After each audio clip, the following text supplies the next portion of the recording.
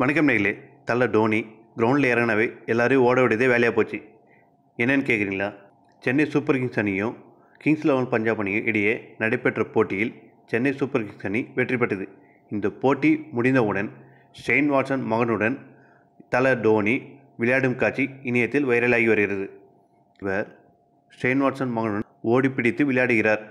இவர் ரசிகர்கள் மட்டும் ஓடவிட்டு பார்த்தோம். ஆனால் தற்போது தன்னுடன் விளையாடும் ஷெயின் வாட்சன் மகனையும் இவர் ஓடவிட்டு விளையாட்டு காட்டுகிறார். நீங்களே இந்த வீடியோவை பாருங்கள்